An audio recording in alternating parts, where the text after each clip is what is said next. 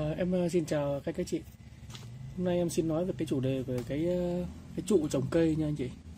Thì à, ở vườn em cũng có khá nhiều loại trụ đó và em cũng tự làm cũng khá nhiều loại. Em có làm quay clip đăng lên kênh rồi đó anh chị. Thì hôm nay em sẽ nói một số vấn đề về những cái trụ, những cái ưu nhược điểm của từng loại trụ để cho anh chị cảm thấy cái nào nó phù hợp với cái cây của mình với vườn của mình ấy, thì anh chị nên làm theo những cái cái trụ như vậy. Em xin nói về cái trước tiên em nói về cái trụ mà mà họ làm sẵn họ bán như vậy này anh chị. Đây thực, thực thực ra đây nó là một cái ờ, cái nửa cái ống này. Đây nó là nửa cái ống họ cắt ra. Sau đó họ họ khoan những cái lỗ như vậy này anh chị. Để em ờ, zoom sát lại. Đây. Họ họ khoan những cái lỗ như vậy, họ rút ờ, cái dây rút nhựa như vậy ạ. Anh chị thấy không ạ? Đó. Những dây rút nhựa họ rút như vậy. Cái tấm lưới này thì nó cũng bằng lưới bằng nhựa luôn anh chị nhé. Họ cũng dùng cái lưới nhựa họ cắt này, cắt vừa đủ cái kích thước của cái ống này. Ống này em không nhầm thì nó là cái ống ờ, 49 á. 49 hay gọi là ống 48 đấy. Ống nhựa bình minh hay nhựa nhựa nhựa tiền phong đấy thì ờ, xong họ rút những cái dây như vậy này, dọc xuống như vậy. Ở đây thì họ có đặt ờ, sát xuống đáy anh chị nhé đó họ bán theo cái họ bán họ bán vào cái chậu như vậy này. Ở đây họ ok kê một cái để cho nó đứng thẳng này sát chậu này sau đó bán hai cái vít này. Đó anh chị thấy không ạ? Thì cái ờ, cái ưu điểm của cái chậu này của cái cái cái trụ này này thì em nói luôn là nó nó dễ làm nó dễ làm nó đẹp nó dễ làm. Cái ưu điểm thì thì nó như vậy. Còn ờ, cái nhược điểm ấy, thì ờ, em thấy nó có cái nhược điểm như vậy. Khi mà một cái cây thân leo mà anh chị ví dụ như cái cây này đi. Cây này là cây trầu bà của Việt Nam này trầu bà lỗ Việt Nam này. Khi mà nó có những cái, cái rễ này nó bám này nó bám vào những cái cái trụ như vậy này thì nó sẽ bám vào những cái này. Nó đâm vào bên trong luôn. Đâm vào cái lưới này đâm bên trong luôn. Sau này anh chị ví dụ như là những cái cây có giá trị anh, anh chị muốn ờ, cắt ra để nhân giống á thì cái rễ nó sẽ nằm bên trong này rồi. Anh chị không thể gỡ cái, cái rễ ra khỏi cái lưới này được. Khi đó anh chị sẽ buộc phải cắt hết cả cái mảng lưới đi. Cắt hết cái mảng lưới này đi. Để anh chị gỡ được cái bộ rễ của nó ra. Đó, cắt hết ra. Thì à, cái tính thẩm mỹ của nó sẽ không, nó nó sẽ bị, nó bị xấu đi. Đó. còn khi mà anh chị làm những cái cái trụ dạng như, cái trụ như mà bằng cái dớn này. Mà dớn này, thì khi mà cái bộ rễ này nó bám vào dớn này, anh chị, khi mà anh chị cắt những cái nốt này đi, cắt cái đoạn này đi đó. thì mình mình sau sau đó là mình sẽ cắt những cái ờ, cắt những cái ờ, dây này đi. Và mình mở cái cái, cái dớn ra. Thì nó sẽ nó sẽ cái bộ rễ nó sẽ bám nguyên vào cái tấm dớn đó. Là mình cầm nguyên cái tấm dớn đó mình đi mình đặt xuống cái chậu của mình để mình nhân giống. Hoặc là những cái này cũng thế. Những cái cái này là những cái vải cũng vậy. Khi mà anh chị ờ, cần cắt ra mà rễ nó bám hết vào đây ấy, thì anh chị chỉ việc là cắt cái cái dây đi. Cắt cái dây đi thì thì sau đó là cái bộ rễ nó sẽ bám vào cái cái vải này rồi. Anh chị chỉ việc nhấc cái tấm vải đó ra. Đặt sang một cái cái cái chậu mới. Đặt sang một cái chậu mới thì thì coi như là mình à, sử dụng cái tấm vải đó mình để để xuống luôn. Đây cũng vậy anh chị nhé. Khi một cái cây này nó ăn nó, nó ăn vào những cái à, đây anh chị. Nó ăn vào vào, vào cái, cái vải này này. Và cái bộ rễ nó ăn vào vải như vậy này. Thì mình sẽ chỉ việc cắt cái vải đi thôi. Cắt nguyên cái tấm vải đi. Đây anh chị. Em quan sát ở đây.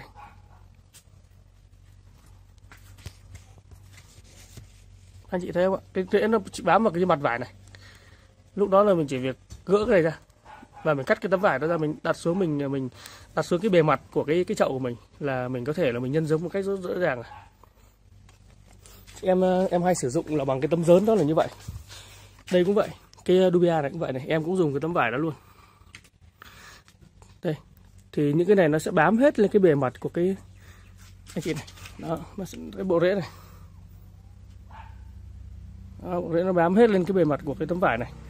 Thì khi mình cắt ra thì mình chỉ việc nhấc cái tấm vải ra thôi nó rất là dễ dàng. Còn đây là cái tấm lưới này chẳng hạn vậy cái bia nó đang bám trên tấm lưới như vậy này. Thì sau này mình phải cắt cái lưới đi. Nhìn cái lưới nó rất là mất thẩm mỹ anh chị ạ.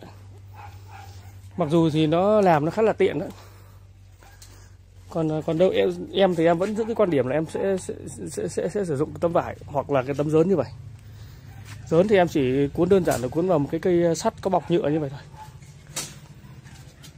đó là mình trồng cây như vậy nó cái này thì cái cái cái nhược điểm của nó là nó giữ ẩm giữ ẩm nó khá là kém.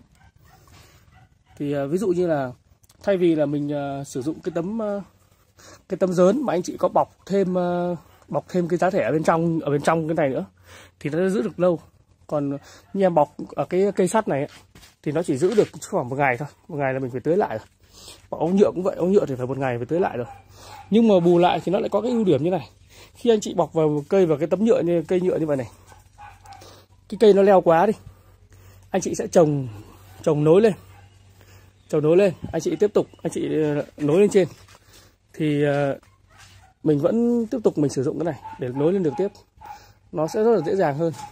Đây cũng vậy. Mình chỉ việc mình nối thêm thôi. Đó, mình nối thêm cho nó leo cao lên nữa là nó đơn giản hơn. Ví dụ mình muốn cho nó đụng trần đụng đụng cái trần đụng cái mái này đi thì ờ, mình sẽ nối cao lên rồi mình đụng trên mái mình giữ cố định ở trên mái đó nó dễ hơn. Còn những cái chậu này bây giờ anh chị muốn nối thì nó lại nó lại là cái câu chuyện khác nó lại khó hơn này. Đó khi mình nối nó rất là khó nó chỉ đến đây thôi. Nối vào nhìn nó tèm nhem lắm nó, nó không được đẹp. Đó. thì ờ, hôm nay em sẽ nói sơ sơ về cái ờ, về mấy cái trụ như vậy. Em thì em chỉ thích là mấy cái trụ em tự làm thôi nó theo ý của mình. Mình trồng mấy cây ấy. Đây cái cây này hôm trước thì em cũng có giới thiệu làm cái trụ ờ, bốn bốn cây trụ trong một này, trong một chậu này. Thì ở đây em có bốn cái cây. Mai mốt bốn cây này leo em sẽ ghim lên trên này. Và nó leo dọc lên cái đường này leo lên. Tới chân này khi em muốn leo cao tiếp em sẽ gỡ cái cái cái cái con này ra. Em trồng thẳng lên tiếp em nối lên trên tiếp. Đó.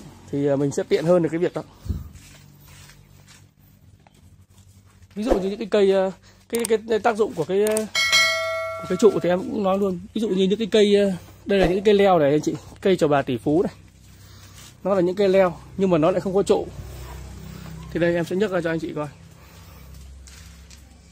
Đáng lẽ nó có trụ ấy, thì nó sẽ có chỗ nó bám đúng không ạ? Nhưng mà cây này hiện tại nó không có chỗ bám này nó đang lơ lửng lơ lửng như vậy này.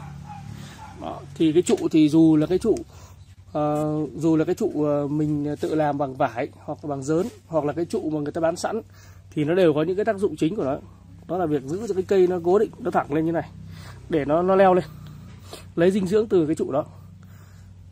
Và em cũng có nói về cái cái cái cái cái nhược điểm của từng loại trụ rồi đó anh chị. Anh chị cân nhắc những cái loại nào nó phù hợp với những cái dòng cây của mình á, thì anh chị ờ, có thể sử dụng cái dòng trụ như vậy. Rồi em cảm ơn anh chị đã theo dõi cái clip của em nhé.